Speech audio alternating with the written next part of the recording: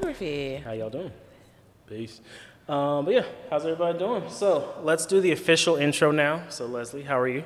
I am doing great. How are you? Uh, nervous. Don't be. Uh, so uh, I'm thankful for you for uh, joining us today. So basically, we were able to. Uh, so this is my fault. I sent her a text message on Monday night saying, "What do you think about doing this in person?" She said, "Okay." So now I had Here to actually show up and do it. So now this is where we are. How are we looking on camera? Everybody cool? All right. So I'm talking to Jason Green off set. He's doing video for us tonight. Um, so do me a favor. Tell everybody about yourself. Who are you? Who is Leslie Andrews? And go from there. Thank you, Larry. So, um, I am Leslie Andrews, owner and uh, CEO of Leslie Andrews Photography. I am also owner of Midtown Collective Studios, Come on, owner. and I specialize in fashion and beauty photography. I've been doing photography for going on about 20 years now. Um, Really? Yeah. It's, Okay. Yeah. So, yeah, so. So I always find that question interesting because people always ask me, when did you start? And I'm like, I don't ever really know how to answer that because I feel like you always kind of had a camera, right? Am I wrong? Did you always have a camera with you? Actually, no. Okay. I didn't pick up my first camera until my early 20s. Okay. And it was given to me. It started kind of as a hobby, and then it just segued there into the career that I have now. Got you. So what was that first camera that you got? Oh my God, you're trying to make me think now. Um, it was a film Canon, and I do not remember the model. Okay, so we're sticking with. So have you been Canon all your life? Yeah, well, I actually, yeah, I mean, professionally, I have, but I own. I think I also own a Nikon Oh, film okay. camera. I have a what is it? A Bronica.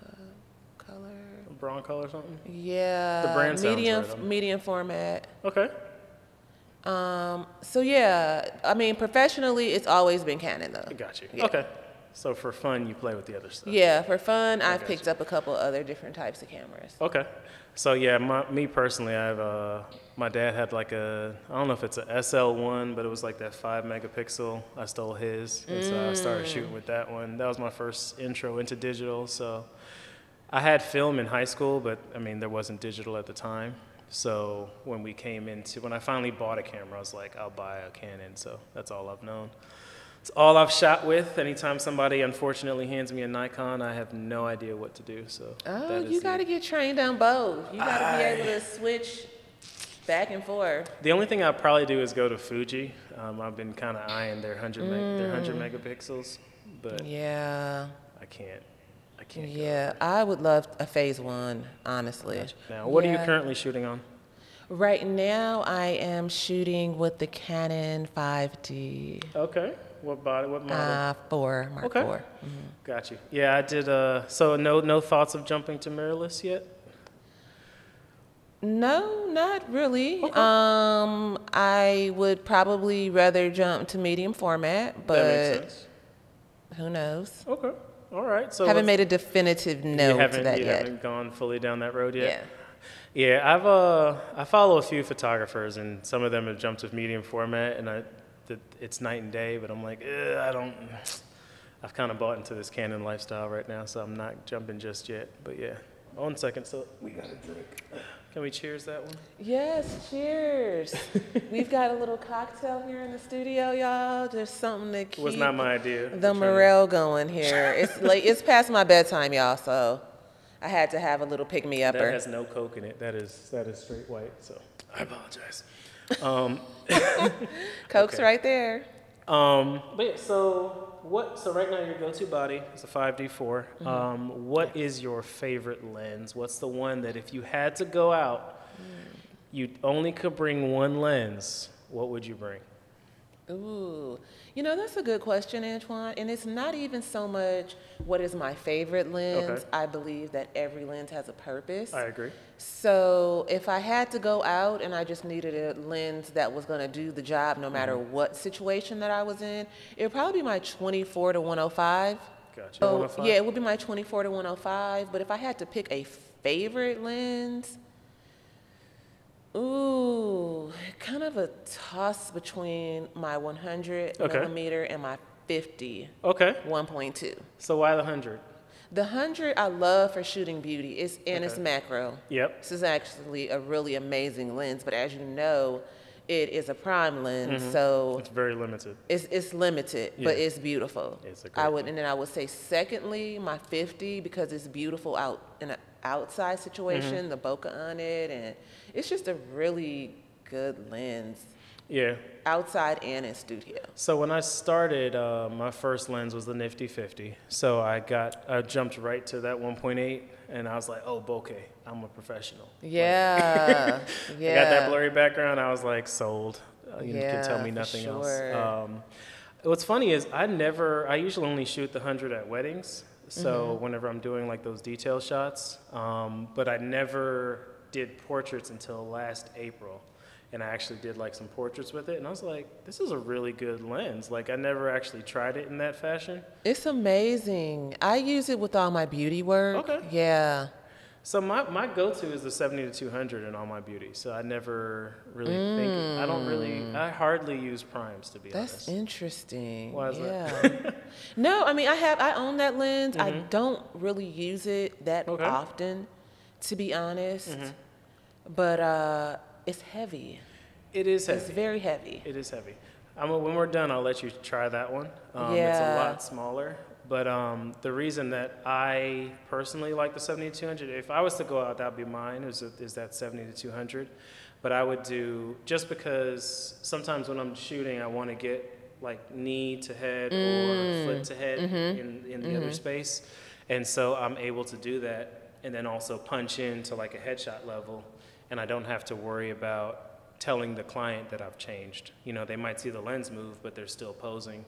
Whereas my primes, I always feel like I have to kind of really adjust myself. Mm-hmm. So I tend not to. I probably it's probably I'm just lazy, but mm-hmm. you know I feel like we sh- I shoot probably at like six three f eight, so I don't really need the the prime mm-hmm. sharpness. You know, so that's kind of the reason that I go that way. Mm. But yeah, you should try it sometimes. It is Yeah. heavy. It, it gets it's taxing. That's why I always use those hand grips. I've owned it for a minute, probably some years. Yeah, is that your uh, one of your first big purchases, or what was the what was the first big lens that you bought? Like the I can't believe I'm doing this but lens. That one probably was. Yeah, that it was mine. probably was. Yeah. Now that I think about Yeah. it, yeah. Cause uh, I remember all the all the hype about it. Cause every show that I watched, they were like, "Oh, get a 70 to Mm-hmm. Yeah. 200." And then as soon as I got that 70 to 200, um, as soon as I got the 70 to 200, I was like, "I get it. I understand why they like this." Um, Mm-hmm. So Larry, Larry's asking a question. He's like, "Do you miss shooting film?" Oh, you know what? Honestly, it's been such a long time since Mm-hmm. I've shot film. I started shooting originally on film. Okay. That's how I started my hobby in a dark room. Okay. So you Processing, developing my own film, Wow. um, enlarging my own pictures, everything. Mm-hmm. Okay. Um, You know, and I um, recently purchased a home, and I was thinking of putting a dark room in my basement. So Okay. it's something that I might. I don't necessarily quote miss it Mm-hmm. because it's been so many years since I've even Done it. done anything with film. But it's something that I was thinking of going back to, uh, Gotcha. just to as something, you know, kind of exploring the creative juices. Be able to kind of. Yeah, get some more Play again. creativity Yeah. going, just playing, you know. It's funny because um, I find that it, once you kind of transition to making this a professional job, you tend not to play anymore. Facts. Yeah, that's so that facts. Yeah, and um and so I'm always looking for creative outlets because. Mm-hmm. of that because everything is about work and it's like I got to the point where I didn't even really to be honest, to Mm-hmm. be like totally transparent. It's a no judgment space. Don't judge, but I didn't even want to take my camera out if I was not getting paid. I'm, I am the same way. Because it was one of those things people see you with a camera and you brought your camera just for fun and they're like, "Oh, you're taking pictures?" Yeah, come on over Um, here, take me and my no, mom, my aunt, my I'm cousin, just, no. you know. So I stopped honestly even bringing my camera Mm-hmm. out unless you're paying me to bring my camera. Yeah, I um, I know for me, I'm the same way. Like family events are like, Anton, you didn't bring your camera. I was like, no, like I want nothing to do with the camera right now. Uh, Oh, that's a good one. okay. Yeah, yeah, let's go into that. What is your uh, what is the the one shoot that you're most proud of, or what's that that larger shoot that you're kind of surprised you got and you're you're happy about it? I would have to say my Creme of Nature shoot, my Creme of Nature campaign, because going into it, I, I didn't honestly know that it was going to be as big as it ended up Yeah, being with so many billboards and like people sending me pictures Mm-hmm. of the billboards from like other states. That's cool. Like for instance, when they did, what is it in New Orleans? They did the big fashion. What is it called? Help me Uh, the Hair. Um, in June. I know. th- I know what you're talking about. I can't remember the name. I'm not sure. It's so the Fashion Week or something. We'll go with that. Yeah. so yeah, they had all of the billboards Okay. down there. People were sending me shots of it. Um, at all of the big hair festivals Mm-hmm. Like here and Brothers hair and stuff, yeah. campaigns, Bronner Brothers. There were all my pictures were blown up. It used to be one right off of Howell Mill. Nice. Yeah, so didn't it was like a proud moment for me. It was like a really proud moment. Um, other than that, I also did a campaign for, it was a part of MARTA. So Okay. it was actually a part of their, where they were trying to get Georgia commute, where they're trying to get people to commute. Okay. And that was a billboard campaign too. But it wasn't like t- my typical work. It was very commercial, and. Yeah. a lot of people probably wouldn't have even Wouldn't known, recognize that it's you. recognized it. Yeah, bec- but that was like a proud moment to see my work big like that. That's the thing about commercial work is um, I follow another photographer on YouTube and he talks about that um, your editorial gets you booked for commercial, but your Yeah. commercial looks nothing like what you do. Like they love your work and they're like, hey, shoot this ice cube, and you're just like, okay. Yeah, so true. yeah, so, so, true. that's that's so always true. interesting. Yeah. Um, so when so I like I was going to actually segue to when was the first moment that you realized you could probably do this professionally? Ooh, you know what? It was really early on, Okay. and it was.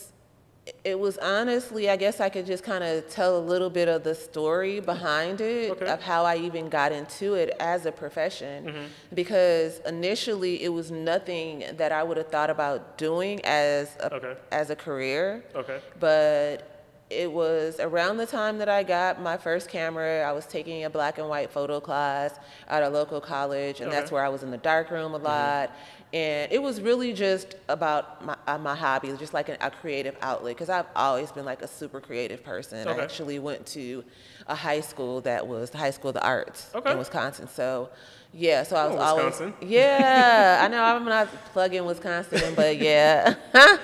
but it was I've always been like totally a creative at heart. Okay.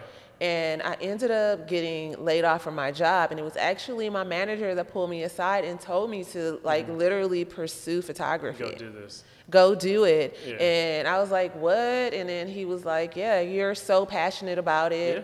And that, and I wasn't even taking the style of pictures that I'm taking now. Yeah. But he just saw my drive Yeah. and was like, "You could do should this." do this. Yeah, and he kind of like embedded that in me, and makes that's when I knew. I was like, "Well, if this guy, I mean, he's he owns the company. He's Mm-hmm. a self-made man. Never went to college. If he sees drive in me, Yeah. then I know I can do it." And that's kind of followed me throughout my career Mm-hmm. because. I know that if someone recognized that in me, Mm-hmm. that it was obviously there. Yeah. And so I just really just manifested it into Okay. what it is today. You know, I did go to school. Um, I went to the Art Institute. Okay. But I just always felt like that was my destiny. You know, that was what I was destined to do.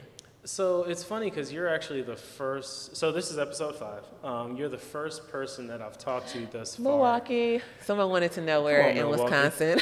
you're the first person that I've talked to that actually did this in college. Because most of the people that I've spoken to, they actually started. Um, they actually started doing something else, Mm-hmm. and then out of necessity, kind of grew into photography, or it was a hobby and it grew into this into this future.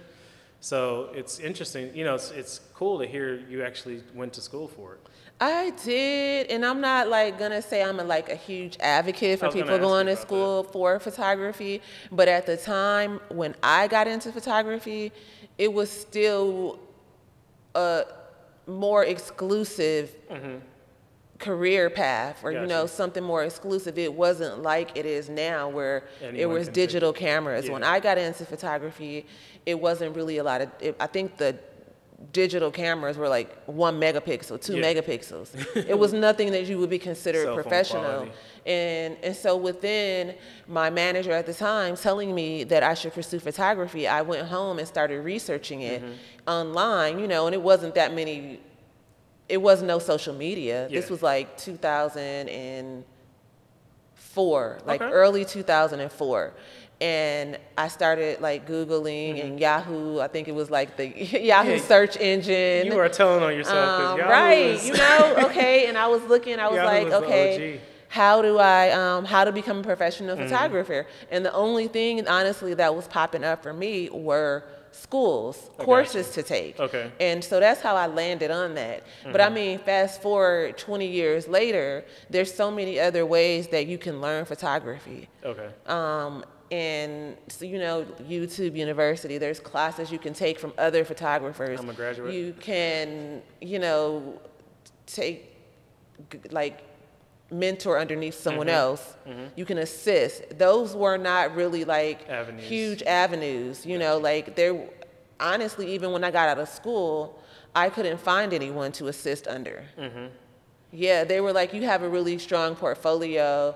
You you could just go straight into photography. But honestly, I didn't know anything about the business. I kind of just wanted to be Yeah.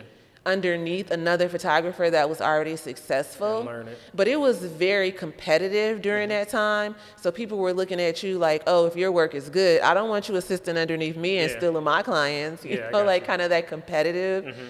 outlook on things. And so, of course, you know, it's not like that now. There's tons of opportunities mm-hmm. for you to break into photography without going that route of school. Yeah, I'm a big proponent of that just because, um, I mean, I feel like if you are, I'm a big proponent of if you're very passionate about anything, you can get the information. Yeah, you the can find information it. is there. You know, because people ask me questions all the time, and I'm just like, there's a ton of YouTube videos. Oh on how to yeah, it's out there. Like, if you want to learn, it's out there. And I mean, honestly, Mm-hmm. even with digital, because it's so user friendly Okay. versus a manual camera. exactly. For me, I felt like I wouldn't change my path because I felt like it really taught me the core of photography. Mm-hmm. And with that being said, I've met photographers that didn't even know what an f-stop was like or ISO. They just go and get a, their digital camera. And they got it um auto. auto. And go, and they're in business. so Jason's saying it's me. okay, Jason, you know, and so I learned going to school did teach me all Mm-hmm. of that, and I'm not good at math, so I had to learn all of the equations. Yep. Okay.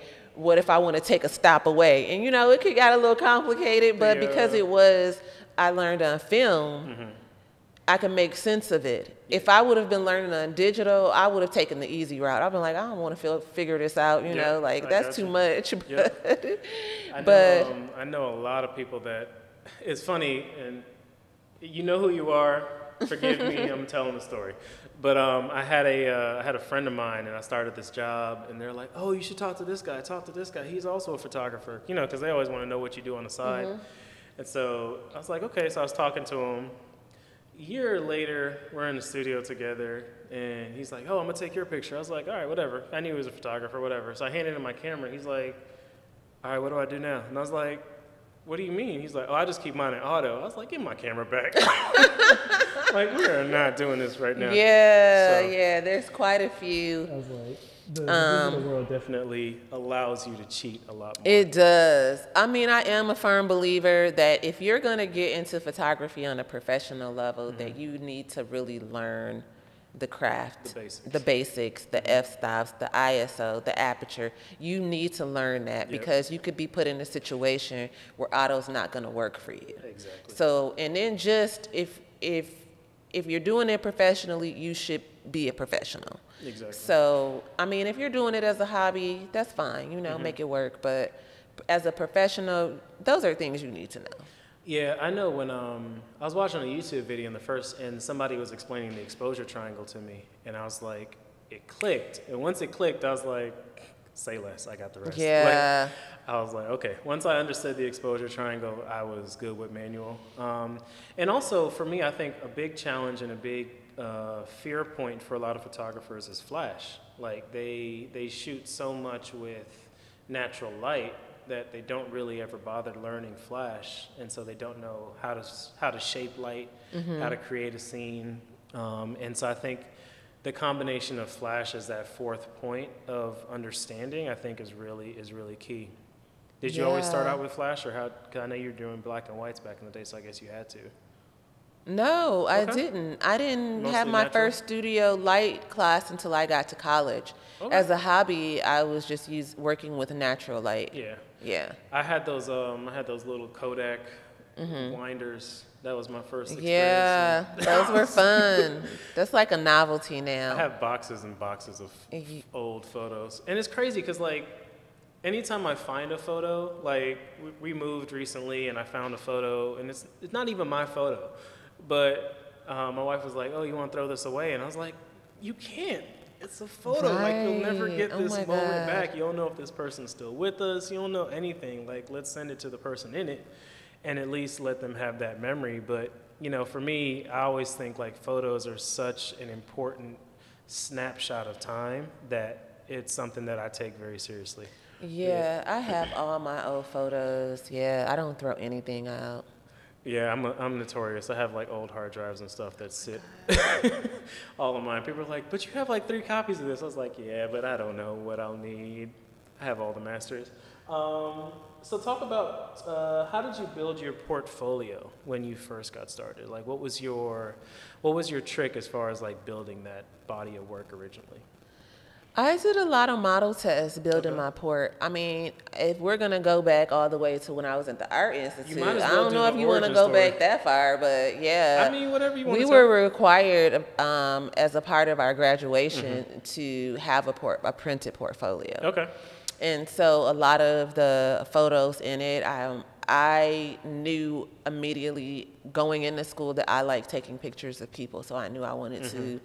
specialize in portrait. I didn't know I wanted to go into fashion and beauty, but I knew that I, that's what I, my subjects were people and mm-hmm. getting them to like really be transparent in front of the camera and showing different sides of them in mm-hmm. different angles.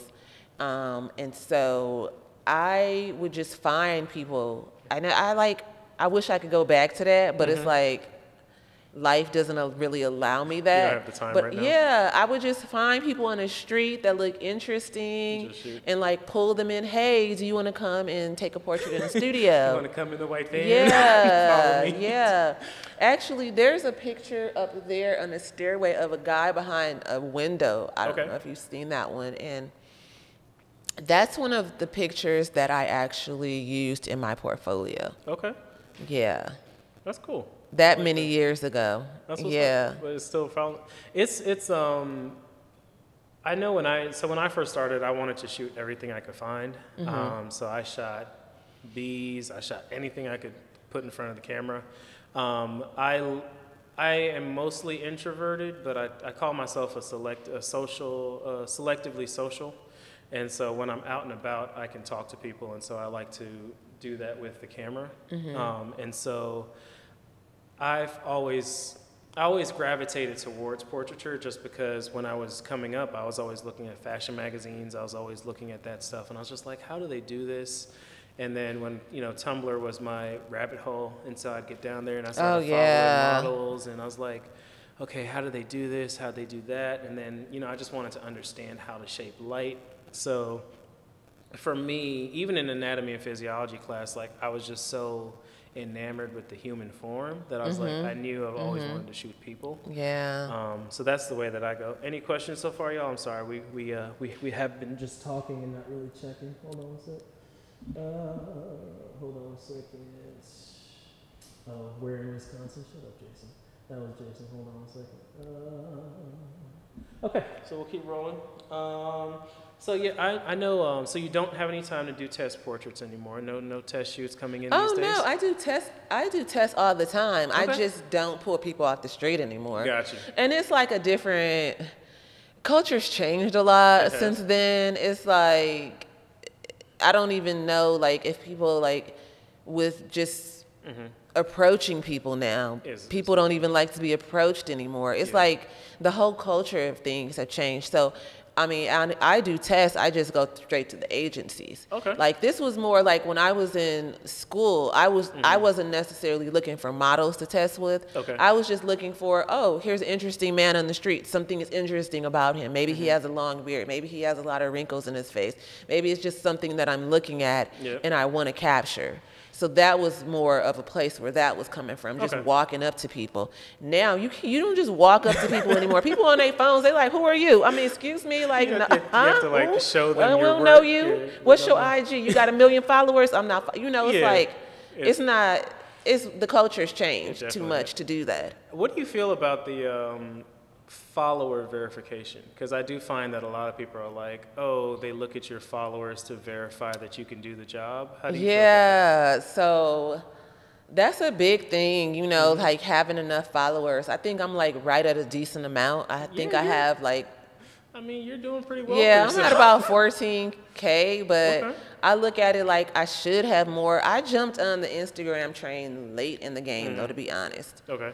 Instagram had been out for several years, and I just was like, "Oh, I'm Oh. good. I don't need to be on that. Yeah. I got Facebook. I got a website." And by the time I jumped onto the Instagram with a Instagram page for my photography, I had a personal, like, private one, but. The algorithms had changed. Yeah. Like I've worked damn hard to build my following, and it's all organic. Hey, I am the same way, and my little my little 3200, o- what Yeah. 3203 last time I checked, I am proud of those 3000. So Yeah, I think I've had my um, photography Instagram for six years. Okay. And Instagram has been out for what, 10? Probably 10 now, yeah. 10 now. yeah, man. So I got on the train a little late, and the algorithms were made it very difficult because you know it All used to be people just could po- just post photos. Post photos, and yeah. they could have 10, 20,000 followers. It's not posting memes, be Yeah. 5,000 deep. You're like, okay, I'm not doing this with y'all. Um, so when you when you go to the agencies, how do you build those relationships, or what's your trick as far as like uh, fostering that relationship? Um, well, I started with the agent, most of the local agents here and agencies here in Atlanta, Okay. and just going to meet with them. Okay. Um, and so the relationships that I've had with them, I've had for quite a few years. Okay. Um, and so just taking in my port and going to meet with them, taking them a gift, you know, and Got it. Got it. You know, kind of smooth them over a smooth little over. bit, Gotcha. test with their initially start with just testing with their models so they could see that they like your work and it's Mm-hmm. consistent. Because even though they could look at your work on your website and okay, you have good work, we want to see what you could do with our models. Yeah, is what they're gonna say. Yeah. So you still have to like go through that process. Mm-hmm. So once you're done going through that process, you get put on their test photographer list. So if they sign a new model, you. you're on the referral list. It might like just on a typical list, you might have like six to 10 Mm-hmm. photographers that models could choose from. They could say, okay, pick one of these photographers to go shoot your port with, and then they're bringing you paid work. Got you. Um, in addition to that, um, I also update my portfolio on a quarterly basis. Okay. So, and I actually have a test shoot tomorrow Okay. at 9 a.m. but Thank you. but um, yeah, so I choose to to update my portfolio, and then when I get ready to update it, Mm-hmm. I'll call the agency. I'll have them send me over a package of models, and then I'll select from that package of available models, and That's then cool. I'll just put together a shoot of what I want to do. Nice. You know, what's funny is um, all of mine has been kind of either organically grown from people seeing my work and saying, hey, I want to shoot with you, or a referral from someone else. Um, I've always wondered, because I've heard a few photographers that talk about like actually having an agent themselves um, or working with agencies, and I've never actually stepped out and done that. So it's interesting to talk about that because it's, I mean, I know where I want to go, and I think if it's in that same realm, then that makes sense to you know go where the where the people are going first. Yeah. So yeah, Yeah. that works. Um, I think we had a question oh, here. What's our question? Um, Uh, do you feel comfortable in front? Oh. How is, how is it getting in front of the camera? You've been doing some shoots lately. I've been uh, stalking your IG. You- you know what? Honestly, I've always kind of felt comfortable in front of the camera. Okay. I, but as a photographer, I've often just taken a back seat to that. Mm-hmm. When I was a teenager, I did a little bit of modeling, and then I just kind of was like, you know what? I'm good. But I think as a photographer now, having the like the eye and knowing mm-hmm. what a good photo is supposed to look like. On the opposite side, I'm like super critical now when I'm being photographed. I want to see like Yeah. how's the light? If, are you Why is this here? capturing? You know, you know. So now I'm a little on the more critical side of Yeah. things. But um, I, I like being in front of the camera. That's something that I'm actually venturing into. Not necessarily like the being in front of the camera, but speaking. Mm. Okay. And within that comes being in front of an audience, potentially being in front of a camera. Mm-hmm. Okay. So yeah, I want to speak. I want to teach and mentor and all of those things. So Mm-hmm. Okay. Yeah. So Yeah. eventually you'll need to to get the full package that we offer. yeah, yeah. Um, but yeah, so my it's funny because my um, I had my first branding shoot back in August, and my friend Jason, not not Jay, no, I'm sorry, my friend Jay. I always mix them up. Don't don't do that. Um, my friend Jay, he shot me, and the whole shoot, I was like, "How's that? Can I can I see? Should I put my hand? Should I move this?" And he's like, "Dude, I got you." And I was like, Right. okay, I'm gonna, I'm gonna, I'm gonna just let you lead. But the whole time I was in my head like, okay, where's this light coming from? Why is he doing this? So it's, it's hard to let, it's hard for us to let go. Um, how long do you think you'll keep doing photography? What is your end game? Do you feel like you're gonna Oh stay my here? God, I'm never gonna stop doing photography. Okay. I mean, at this level of my career, Mm-hmm. of course, I'm going to have multiple streams of income, Mm-hmm. but I don't think I'll ever get to a point where I just put down the camera totally. Like, I oh, I'm not picking up a camera again. Yeah, you know, I'm like done with this life. yeah, I'm always going to, even if I'm only shooting 10% or 20%, percent I'm always, that's always going to be. A part of my original passion. Oh yeah. Yeah. It's funny. Um, I knew I wanted to do this professionally when my friend at work asked me, "Hey man, if you won the lottery, what would you do?" I was like, "I'll be a photographer." And he's like, "Damn, you found that?" And I was like, "He was like, you know, it's awesome that you found something that you're doing that you would do." Mm. you know? Yes. And I was just like, I never really thought about it that way because I was like, honestly, if I won the lottery, I'd just open a studio, I'd shoot what I want to shoot, and chill. Like it's what I'm passionate about. And um, I talk to friends because I'm always looking at people, and I think that um, do you ever do you get that when you're out and you're just like analyzing somebody's face or like looking at how the light falls on somebody? All the time. Okay. I'm always looking for symmetry in Yep. someone's face, like all the time. now you're like, are you looking I'm at like, me? Right, Ducked like, Yep. and like, if the person's face isn't like symmetrical, Mm-hmm. I'm like, I'll always like catch myself looking at the. I don't want to call them defects or abnormalities. It's like the uh, inconsistencies, The I guess. uniqueness of them. The uniqueness. That is a great way to put it. Hey, Tion, how are you? I uh, I was at dinner once and um, our waitress walked up and I looked at her and I was just kind of like, I because she had like some lights behind her and so she was like, "What are you looking at?" And I was like, "I'm sorry." My wife's like, "He's a photographer. Forgive him." And I was like, "Okay, my bad." But uh, I, I realized You were checking her out, No, I it, was over there Antoine. I actually gave her my card. I was like, "I'd love to work with you someday," because I was like, her face was so unique and then she had like Yeah. this really crazy hair. And I was like, "You would really photograph well." Yeah, I'm always like eyeing unique, Mm-hmm. the uniqueness. uniqueness. We're going. that. Yes, That's our we're gonna go with that. Okay. We're gonna go with the uniqueness. So you talked earlier about fashion and beauty. Is, Mm-hmm. and do you feel like that's your niche? How did you get to that point of finding that niche? It got to me, I guess. It kind of found me like coming out of coming out of the Art Institute, um, with my portfolio, a bunch of models just started contacting me and Okay. wanting me to shoot them. They're, I guess I just had that that fashion eye. Okay.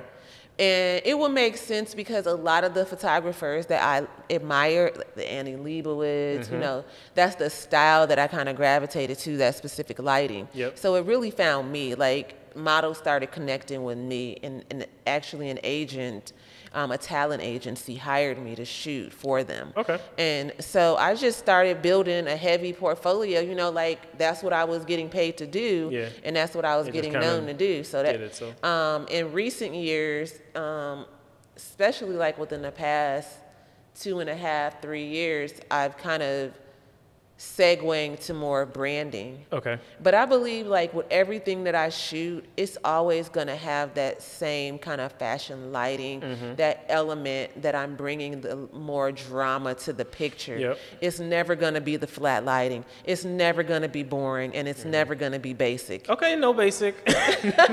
she said no know basic what? energy. I was gonna go with you, but I, I'm trying to keep it monetized on YouTube, so forgive me. No, yeah. So it's always gonna be Okay.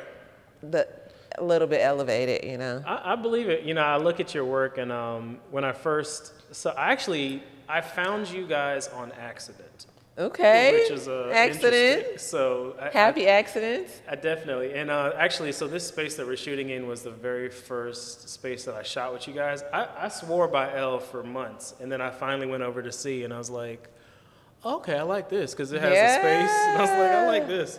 Um, but it's funny because I used to shoot out of a space. It was more of an event space, so I had to set everything up. Um, and then we went there one day, and the power was out, and I was like, I got, I Ah. got four shoots today, all back to back, and I was like, I need to find a space. I reached out to my friend. She knew Demond.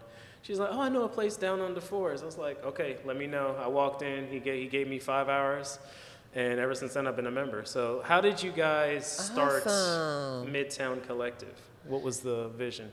The vi- we um okay. Ooh, this is this story might segue us on up to 10 p.m. Go but yeah, got- and we're actually at, uh, we're at 950 actually. Yeah, so originally, um, the first studio that I got in Atlanta upon moving, I was in California, moved back to Atlanta, and I got a studio over at King Plow. And so we, I, it was just really exclusively photography. But in mm-hmm. order for like to kind of build up that stream of um, revenue before I mm-hmm. could get like booked and busy, Yep. we started doing like little small events mm-hmm. and subletting it out to other photographers. Okay. And unbeknownst to us, our lease did not allow us to do that. Oh. So then, Y'all was just breaking the rules. yeah, well, it wasn't defined. It wasn't defined. Okay. So yeah. Um, but then we ended up like, okay, well, let's find a space that will allow us to do that. Okay. And so that's how we landed here. And upon landing here, I decided because before we were not Midtown Collective at that point. Mm-hmm. Um, I actually had a partner at the time, and we called ourselves Culture Collective. Okay. So with breaking that partnership, I had to let that name go, and Mm-hmm. then I was like, well, I don't really want to call it Leslie Andrews Studio because if it's another photographer and they're shooting, I don't want them to feel like you know, like, I got it. oh, I'm at somebody else's studio, Yeah. you know. And Yeah, I I was you. like. Because I've been in that situation before I got my studio where I had Mm-hmm. to rent other people's studios and I'd be just like, meet me at this location. you know, we're shooting Don't at worry this about studio. it. This is the and number. so I wanted a kind of universal Mm-hmm. name that for bringing on other photographers to shoot here, Yeah. they could call it their home. Yep. And then I didn't want it to be like directly associated with me. Oh, like you're shooting at Leslie Studio. No, this is your studio too. Yep. You know, so we landed on the name Midtown Collective because we're in Midtown and it's collective. It's It all about. sense. I'm all about collaborating, mm-hmm. and I have this saying: collaboration over competition. Two weeks in a row, Uh, you're the second person to say that. Yeah, that's uh, my like that's my little coin phrase, collaboration Over over competition. competition. So I'm seeking to collaborate with other photographers. Mm-hmm. I'm never going to look at somebody else as competition. I'm always Yeah. going to be a source where they can come to me, Mm-hmm. be totally transparent to help them, mentor, teach them about business, give them whatever pointers that I can. And just be a source of information because Yep. I know for me, when I was starting out in photography, Didn't have it. I didn't have that. It was a struggle. People were not giving me tidbits or Yep. jo- dropping gems. I had to figure it out on my own, if I'm, you will. I'm with you.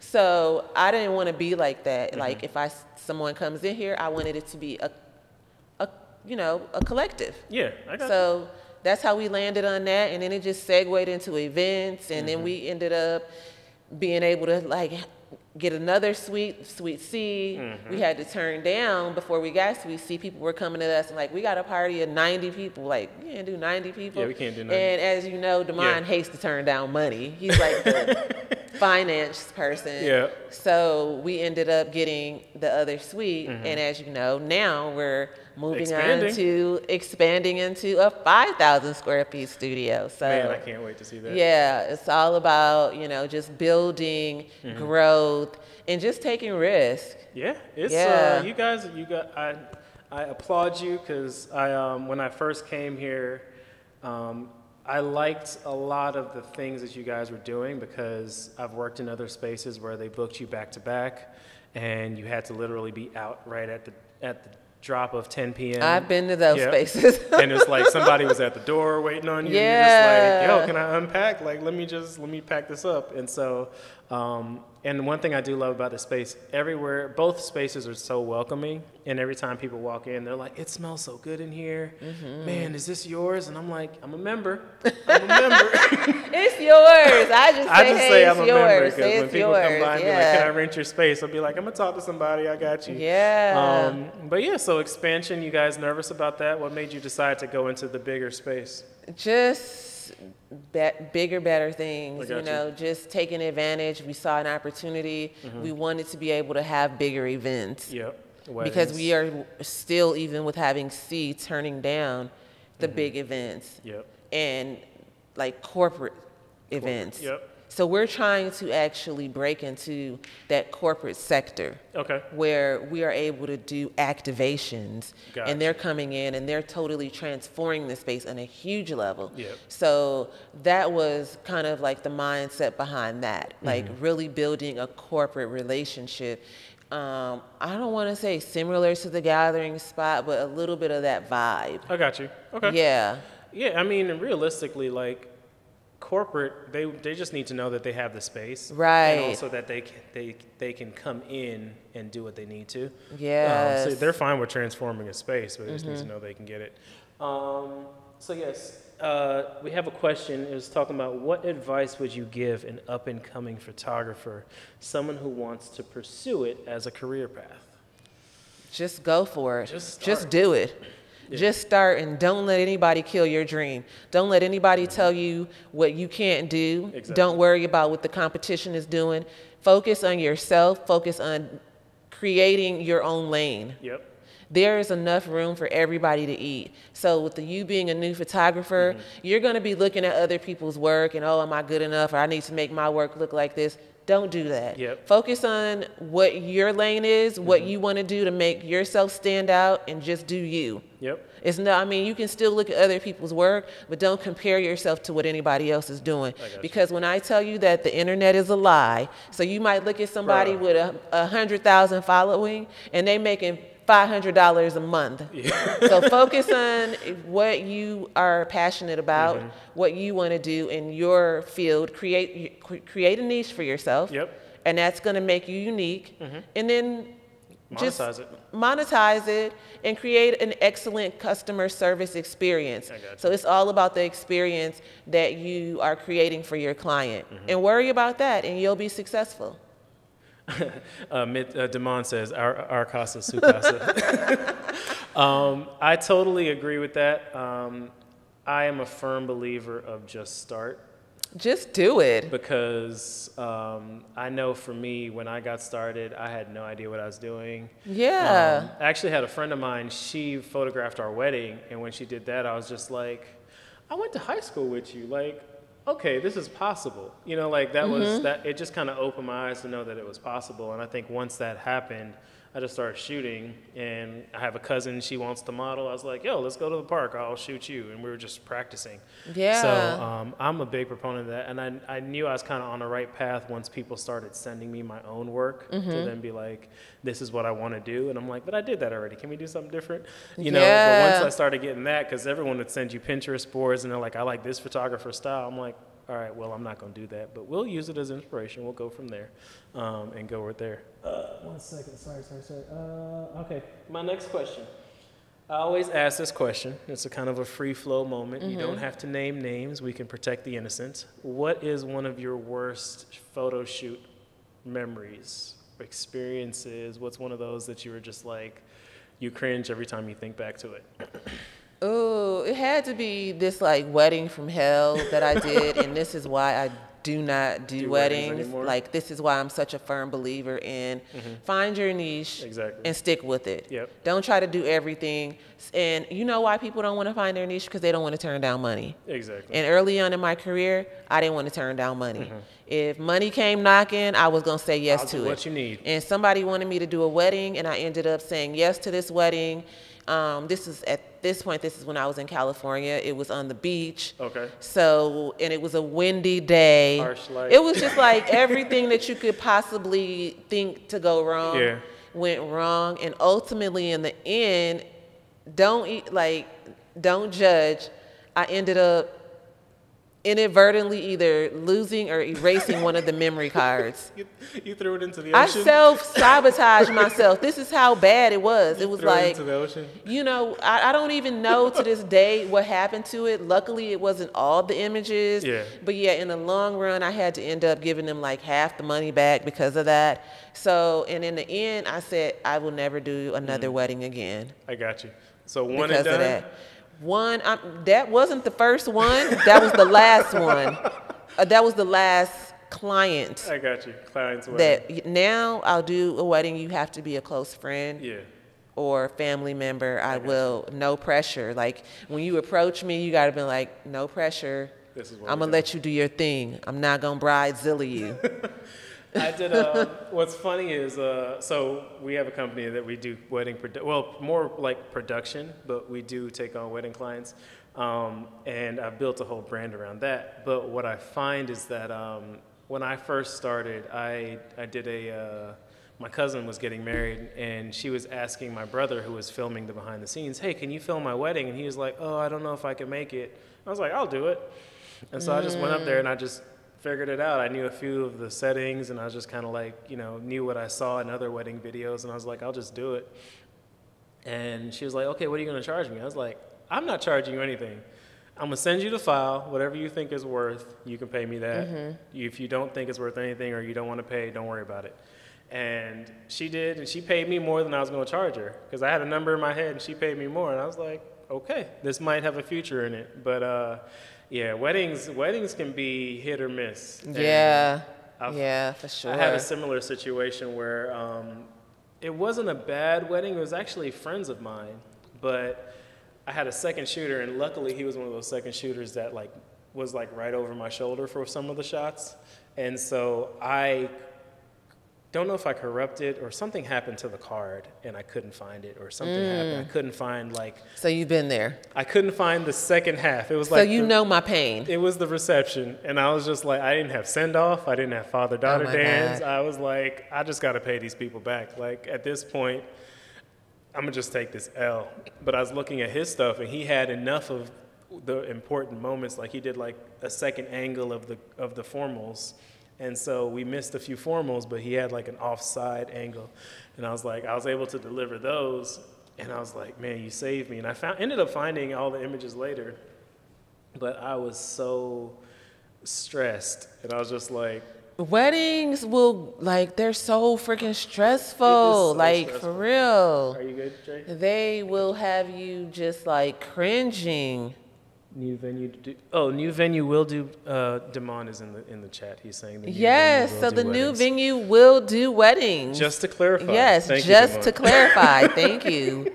We will do weddings at the new venue. Uh, oh, okay, I got you. I would love to do some. You know, So I if you're looking to get married I only shoot them. I only shoot them. I and renew your vows, Ugh, I only shoot them. Don't do this. Don't don't put me on the spot right now. I want no anniversary coming up. Anniversary's coming up. That's a big space to rent out. We'll probably do the L. I got you. Um, your turn to get me. Moving right along. Moving right along. um, so, what is one of your, um, if you could look back on young Leslie getting started, is there anything that you would change or wish you had known earlier in this journey? Ooh, you know what? I don't know if it's anything that I would change, but what I will say is that if I could tell my younger self, you know, um, exactly the advice that I give for other photographers, Mm-hmm. just believe in yourself, be your biggest, you know, like be Yeah. your biggest cheerleader. I got you. And another thing that I will say is that if I could have learned the business side of photography early on, Mm-hmm. I was so caught up in being an artist when I first started. Mm-hmm. It was really extreme. Like, oh, I'm a, you know, that line. I'm an artist and I'm sensitive about my shit and this, that, and the other. But I wasn't really, I didn't really have a grasp on how to run a business. Okay. When did you figure that out? We ain't gonna Do you tell. think? Do you think you fully? okay, so I'll say because I've been doing this for a while. I'm more comfortable with it. I don't think yeah. I've still figured it out. I mean, oh, I got it figured out now, but it took close. years. It took so many years of countless mistakes to figure out What to do. what I was doing wrong. And I knew that I had to figure it out because it was either going to be me giving up Mm-hmm. my love of photography and just doing something else and going to work for somebody else. Yep. And I tried that and it was it's not me. Yeah. It's not me. I'm not a good employee. I am not. I'm a horrible employee. Every job I've ever Oh had. my God, I'll I'm a in there like, horrible why are we doing employee. Yeah. Like, why are we doing this? Oh, this is how we do it. I don't like this. I can't. No, I'm- I was I'm just done. such a rebel employee. Like I was literally working in sales, and I would like pick up the phone and hang it up just so I can get to my quota you for today, number. just so I can get my number. And I was like, I gotta stop doing this. what are you doing with your your life right now? Go back into Mm-hmm. the lab and figure this shit out and figure out why you're not making money. Exactly. Why wasn't I making money? Because I wasn't running it as a business. I was running it as, oh, I'm an artist. Oh. Yeah. But once I figured out my pricing, all of the back end stuff, marketing, putting money into your company, all of that stuff, Yeah. once I got that down pat, it was like everything else just kind of made kind of made sense after that and kind of just started to make money and started to be profitable. Mm-hmm. And that's the thing is, to be honest, because like we are artists, yes, and our love is the art, but photography is probably 15% of what we do. Right, facts. A big sixty percent of it is the business, you know, like, and the It's- rest of it's is client just management, client management, booking, client experience, everything. It's Mm-hmm. so much more that goes into photography. Yeah. That's why I, this is the one of the things that I also tell new photographers. Mm-hmm. You have to really look at your profit and your loss. Yep. A lot of people just want to look at their profit. Mm-hmm. Oh, I made 500 off a photo shoot. How much time and money did it cost you to do that photo shoot? Yeah. After you get done looking at that, you probably only made $100. Come out with 20. So you're not charging enough. not charging. You had to go back into the lab, spend Mm-hmm. how many hours? 10, 20 hours retouching. Mm-hmm. You had to take 20 calls for the client because they was bugging the shit out of you. That's all time. It's all That's your time. You over here preaching. Jason is right. testifying over here. All of that's time. so now you you're down to $10 an hour at this point. Man, um, So yeah, you got to raise those rates. They looking at it as five hundred dollars is a lot for a shoot. How much time and money did you put is- into that shoot? exactly. How much time? How much money did you did you spend setting up for it, Mm-hmm. planning it out, the cost to run a studio? how long have you been shooting? How many long have you years? been Yeah. Shooting? The years, the your equipment. Yep. That's a charge for that. Every time I pick up my camera, I am that's a usage charge. I'm Okay. using my camera. Yep. That that costs to use. Okay.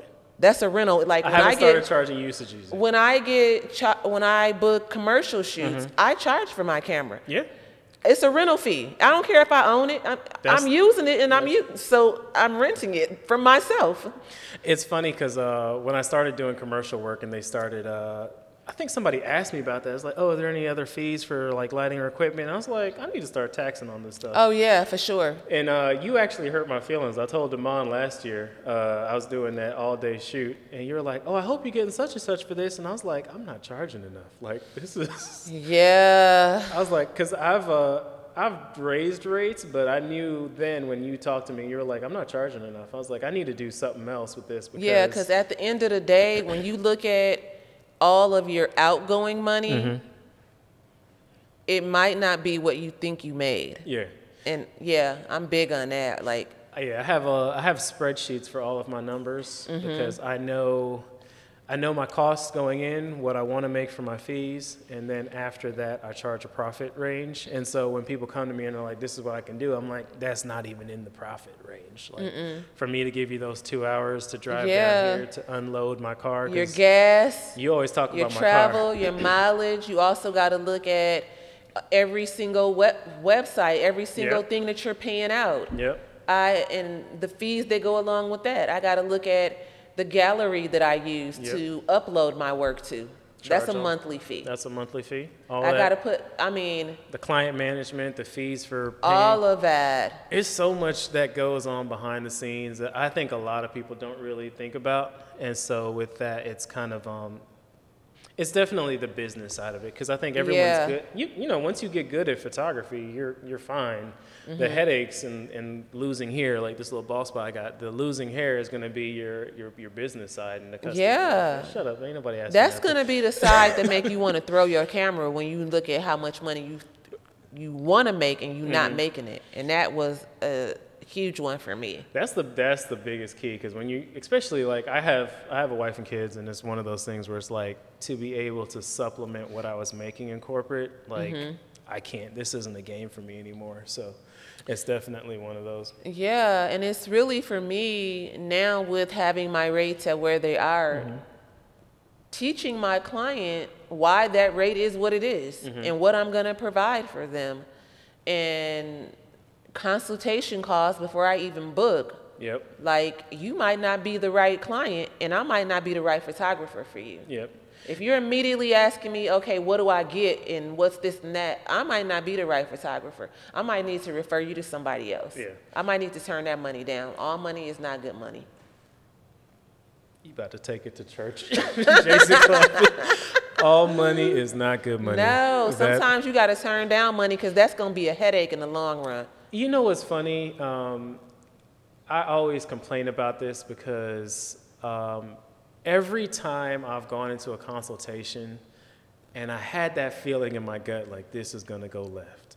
Yeah. And I was like, it'll be okay. It always went left. And every time I tried to do a favor, every time I was like, oh, I got you, we're friends. Every time I did that, it bit me. And so I learned early on, and I, I put a post up about it, and a lot of people liked it, but I was like, nobody ever expects discounted effort, so stop giving people discounts. And once I did that, I was just like, my, my game changed. And people come to me and like, hey, can you do me? Nope, because you're gonna want these five photos retouched, and I'm gonna need these six hours to do it. and that. then here is also another key too, is Okay. that when you are doing something for a discount or you are doing something for a friend, I still invoice. yeah, You still want to invoice. You want to let them know what it would would have cost, cost. Got you. Okay, and then you just comp it.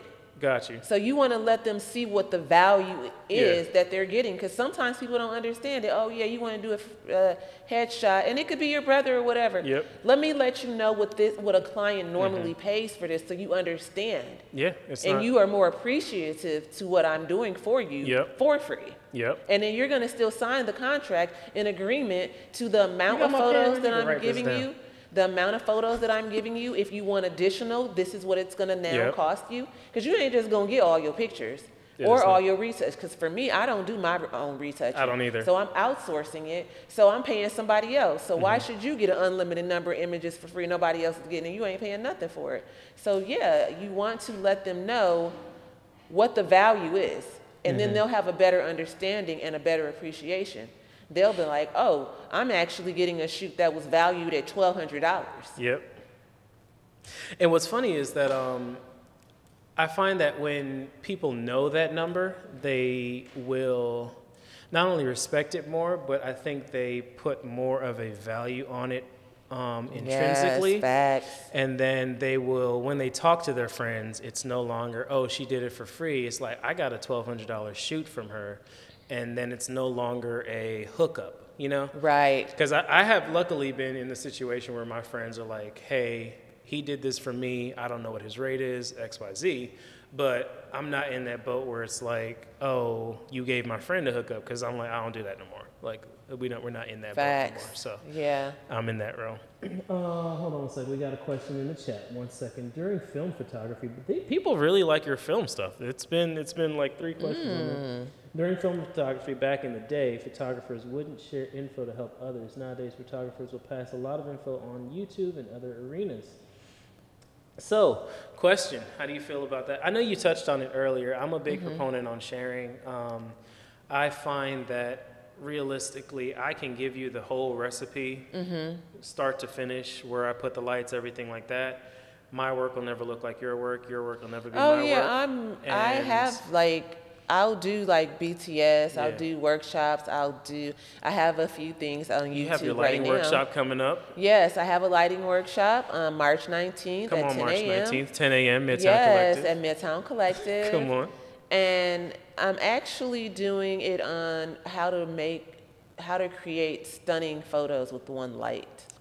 You know, it's it's um, we're on the same realm. It's interesting that you said that because I just did. People a- feel like they gotta have a million lights. you can do a can lot do a with lot. one and a reflector. and a reflector and some B flats. V flats, a reflector, you can make some magic. I actually had someone email me and they were like questioning the photo that I used to advertise. Oh, this wasn't made with one light. This wasn't created with one light. You need to come to the workshop. Well, So I'll show you how to do it. I'll show you how to do it. Come Yeah. to the workshop. Because you can create a light. You, it's bouncing off light. Because they feel like they see two catch lights and they think that that's two lights. Nope. That's a reflector. That could be an eye whitener. Man, I um, it's, it's tons of things that scenarios. I saw a YouTube video and he was saying um, light is like water, Yes. and if you want to get light somewhere, think of it like spraying a hose. Like if you're trying to bounce Mm-hmm. Yes. something, it's the same way. Bounce it around. I shoot a ton of stuff like with one light. Mm-hmm. My shoot ye- yesterday was with one light. I'm constantly shooting with one light. Yeah. A, I'm a little bit lazy, but I mean, but I can make the it work. That's yeah. how I started. Yeah, it's I started funny. with two lights. That's most of my setups are two lights.